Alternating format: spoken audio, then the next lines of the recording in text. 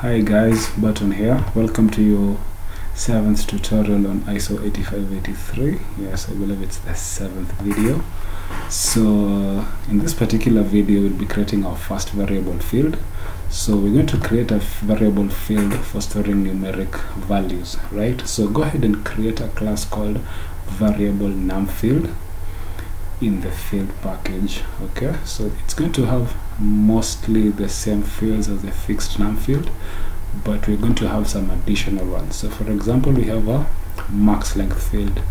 If you go here to wikipedia and look at some of these particular fields yeah so let's uh, look for a variable numeric field. So we have a field like field 32 field 32 is not denoted as n dot dot 11 right? So it which means the first two digits are used to represent the length and the length can be up to 11 uh, can be up to 11 long okay so 11 is the max length so that's what is going to be stored here right we also have a field called the length of length right so this just stores the number of digits that are used to represent the length. So if it's L var, then this is 1. If it's LL var, then this is 1. If it's triple L var, then this is 3. Okay. We also need to store the length encoding, alright? And we also need value encoding. Some of these others are just similar. So this is just a constructor to initialize. You can have a look at that and try and see uh, exactly what it's doing so basically most of it is just easy to understand so this is where there's going to be a lot of changes but not so much but this is the encode method. Remember this is a field and it needs to be encoded okay? So this is similar to what we had before. Just make sure the field length is not zero. If it is just return whatever encoded value there is which is just a, an empty string. Also check to make sure that the length of the content does not exceed the max length. So for the fixed fields we were checking just the length right?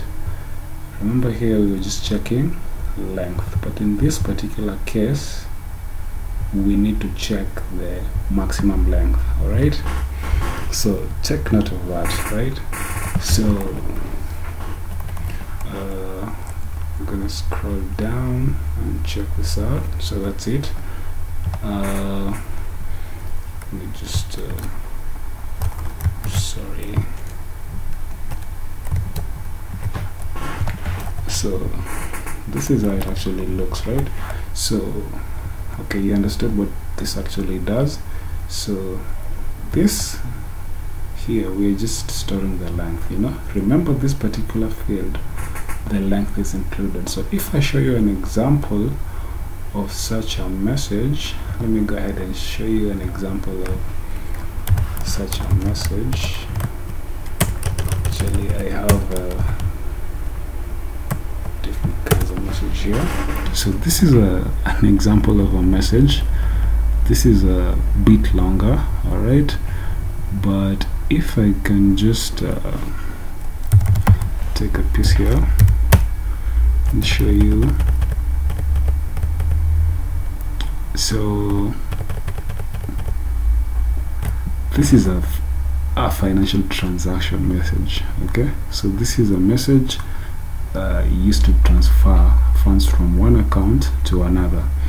So this this first two here is an MTI okay? But it's encoded in binary all right so this first two is an MTI so the rest of all this is a bitmap which is also encoded in binary right? But here you notice something that looks like 19 which actually is 19 so this is field 2 right? Remember the MTI is field 0 the bitmap is field 1 right? Now this field 2 is what we we normally call the primary account number right? And uh, this is normally it's normally a variable field and the first two digits are used to represent the length okay? Uh, let me just confirm that guys. One minute so uh, there is field 2 field 2 yeah. Field 2 is a variable field and the length can be up to 19 okay? So as you can see in this particular message example the length is part of the message. So the length is 19 but the actual field is encoded in, in binary as you can see okay? So the length is encoded in ASCII but the field content is encoded in binary. So take note of that. So when we are encoding here we need to include the length as part of the message right? So in this particular case we have to measure you know we have to calculate the length. So we, we get the length of the value and we store it here right? Then we just create a string where we'll store the encoded length alright? So what we do is just convert this into a string as you can see by calling this particular method and then we need to prepend zeros to make sure it is long enough right? So remember that field field 3 so to speak field 2 is an n dot dot 19 right?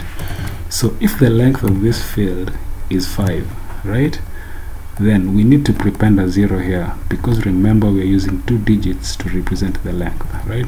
So this should be prepended to include 05 because the length of length the length of length is going to be 2 so we have to prepend a 0 to make sure it fills all that content right?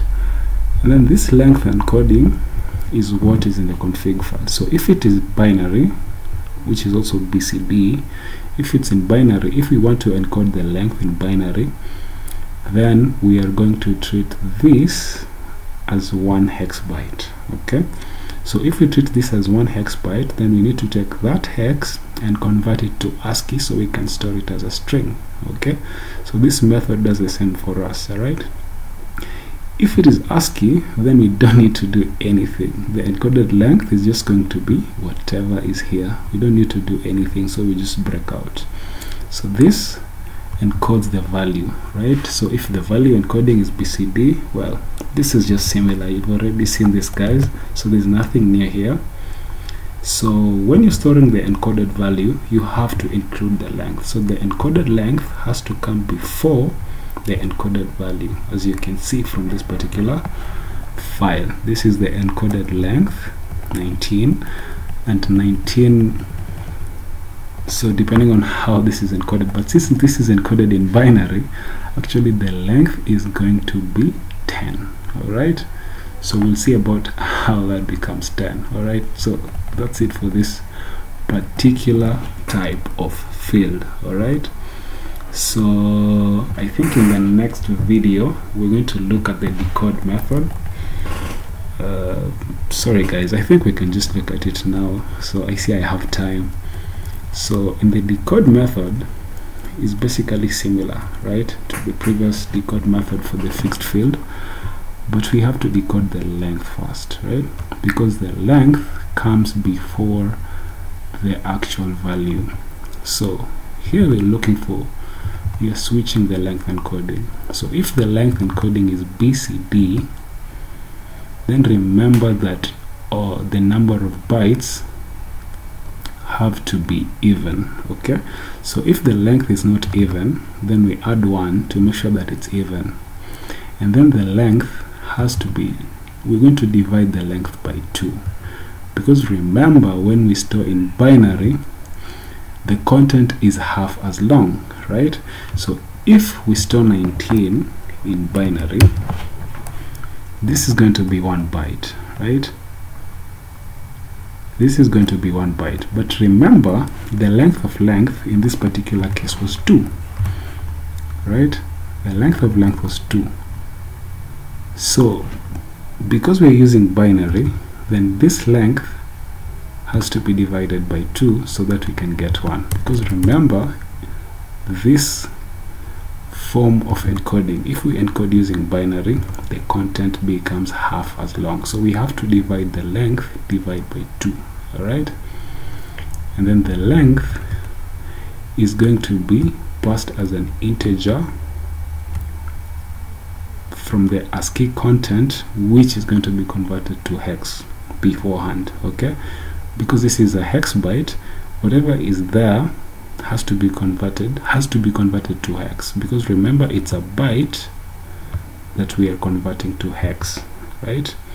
So whatever content is here from 0 to however many uh, however long the length of length is in this case half the original length because we are using binary we have to convert that from ASCII to hex and then we pass it as an integer all right so if it was 19 then that particular binary value is going to be converted to hex so that we can get 19 and then that 19 since it is a string has to be passed as an int and then that is going to be stored as the length okay?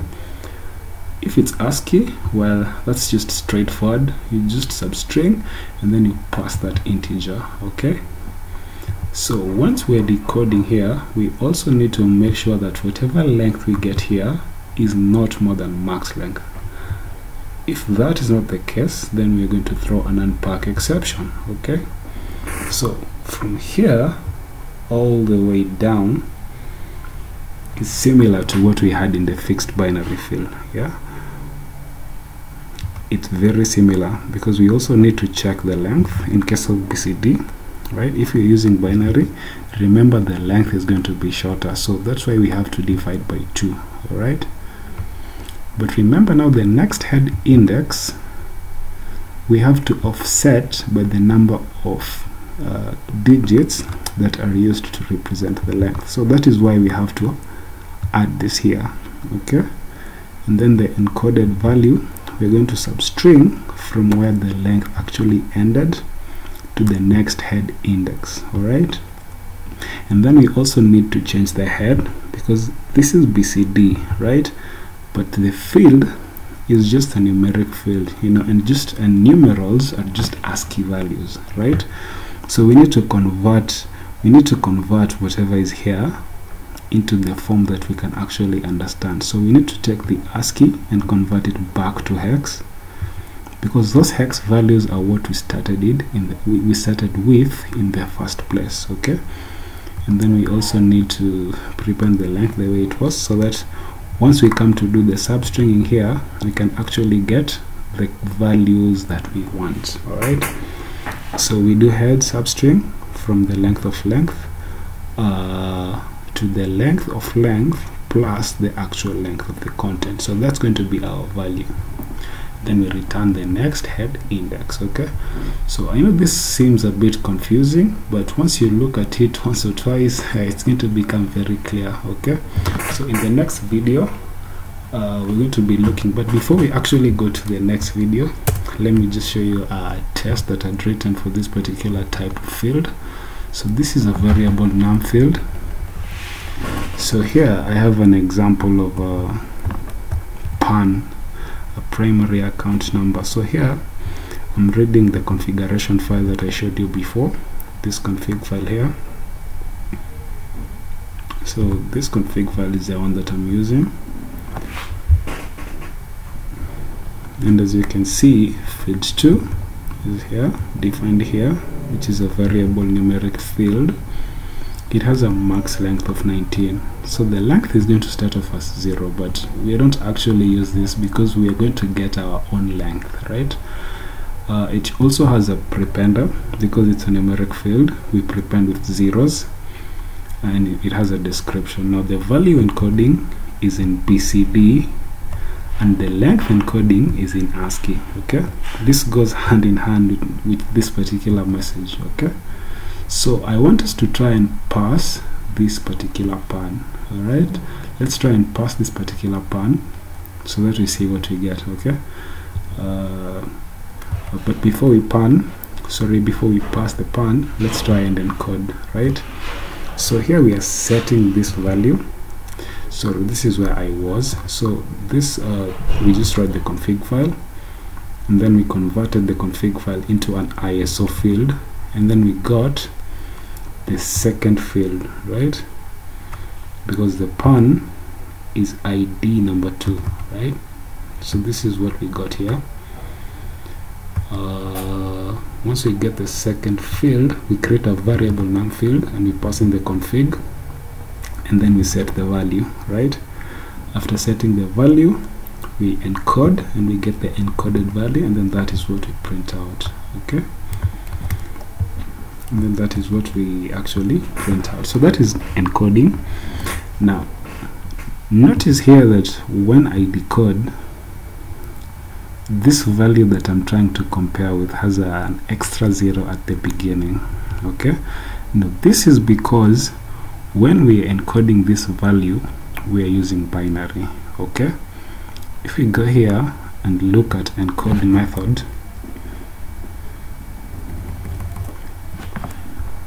if you look at the encode method if we use binary then we have to convert content from hexadecimal to ASCII right?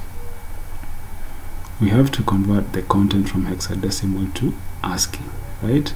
Now this content that we are actually trying to convert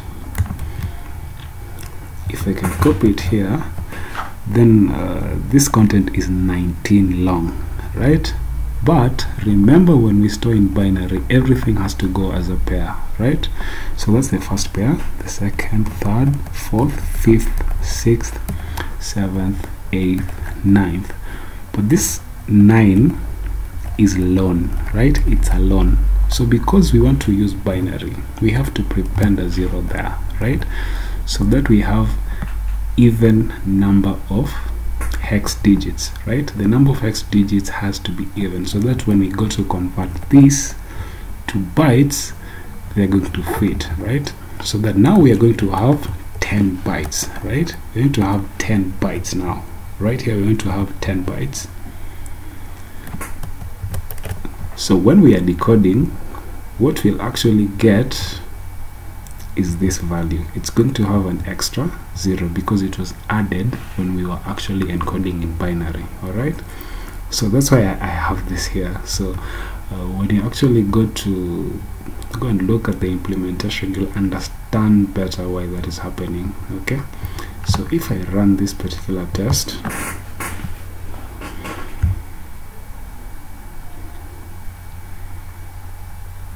let me check the output so you can see so this is a, another test. This is the test just below. So this is the test I want us to look at encoding a variable numeric field. So as you can see this is what was encoded. So if you look properly you can see that the first value here is 19 which is our length. Then from our length all the way here these are the rest of the uh, this is the rest of the field content okay? But as you can see it's gibberish because it's encoded in binary and we can't actually read that okay? So we also have a decode method that does the reverse you know? It reads from the configuration file. So just go ahead and look at this particular method. It's more or less the same but just go ahead and try and look at it because this is also a test that uh, the trend right here.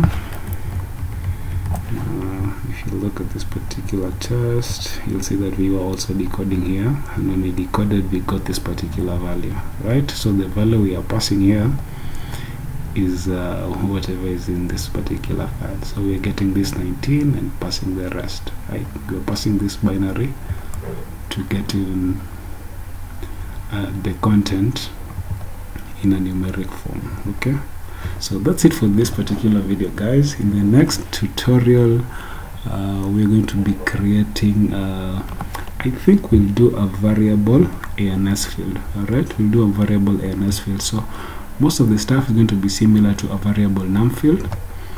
But uh, yeah in the next video we'll see all about that. So guys thanks for watching and uh, don't forget to subscribe. See you in the next video